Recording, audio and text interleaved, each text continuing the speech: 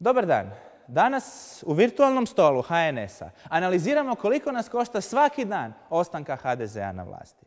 Od prvog dana sadašnje vlade u Hrvatskoj svaki dan 267 ljudi manje radi nego dan prije.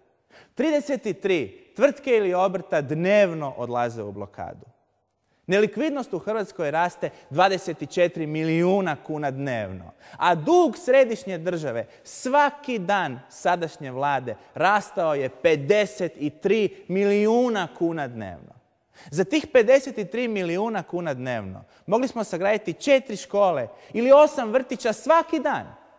Mogli smo dnevno sagraditi kilometar i pol autoceste. To znači za osam mjeseci sve autoceste u Hrvatskoj. Svaki umirovljenik u ovoj zemlji mogao je od početka sadašnje vlade svaki mjesec imati 1400 kuna veću mirovinu za iznos tog duga. Ali nije ju imao. I nismo sagradili vrtiće. I nismo sagradili škole. I nismo sagradili ceste. Nismo jer nas vodi HDZ, a HDZ samo zna zadužiti.